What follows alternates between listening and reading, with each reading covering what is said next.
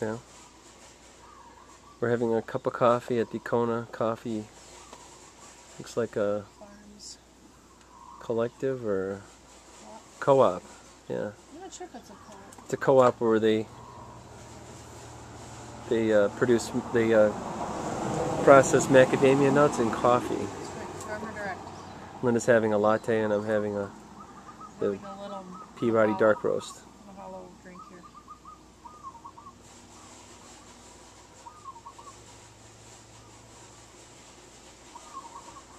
So they give tours here and they have a little uh, exhibit where you can walk through and look at the different plants, coffee plants and uh, fruit. And we just did some winding roads to get here, so we're just gonna sit here. then we're gonna go uh, rent some kayaks and go see some dolphins and the, and the monument. And uh, call it a vacation. hmm Call it a day, call it a vacation. Work on our upper body, at least one of us. hmm We're headed out to Cook's uh, monument. Captain Cook. This is a big swell here, John Cat. Yeah, it's okay. We're in a kayak. It's pretty hard to tip. You'd have to really try hard to tip this. That's what they told us. It's definitely doable by a 12 year old. But he said don't put on too much sunblock because you'll slip right out of the boat. Is that what he said? Yeah, it was uh, joking with me. We're looking for dolphins this morning.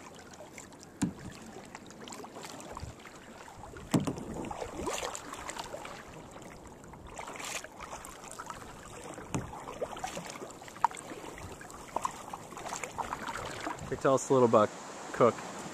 James Cook was the one that discovered the islands in the 1770s. He arrived here in 1779. He was killed by the natives and then he was dismembered.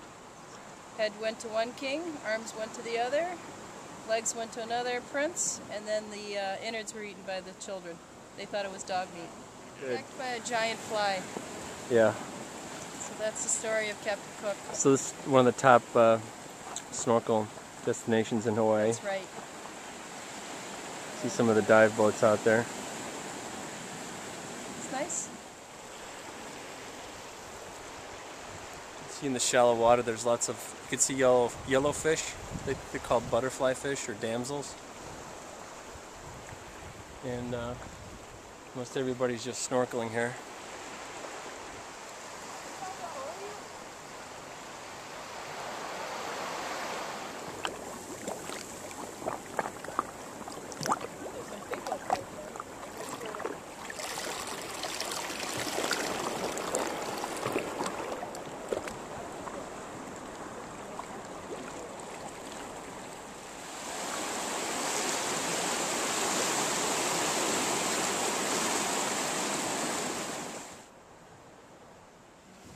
Nice.